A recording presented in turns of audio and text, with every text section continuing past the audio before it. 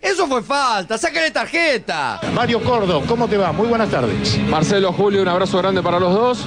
Llegó el equipo argentino al vestuario local del Estadio Monumental. Una larga charla entre el número 10 argentino, entre Lionel Messi, entre Lionel Messi Bueno. y Diego Armando Maradona.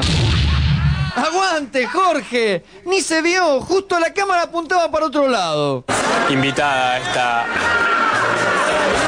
cena de honor. Lo decíamos, no solamente Uy, al presidente de Ucrania se le cayeron encima unos cuantos muertos. Un homenaje a los caídos en combate, a los soldados. Un momento muy serio, de extremo dolor. Se rendía ese homenaje ante la tumba de los soldados caídos, pero debido al mal tiempo y la falta de previsión, además un buen soporte, pasó eso. La corona que se le va Después del misterio que se generó estos días sobre la salud de Luis Miguel, ahora apareció el tío de Luismi hablando del asunto. Como diría mi amigo Nico. Raro, ¿no? ¿Cómo está? Eso es lo primero. Regular. Hasta un coma, sí señor, eso es verdad.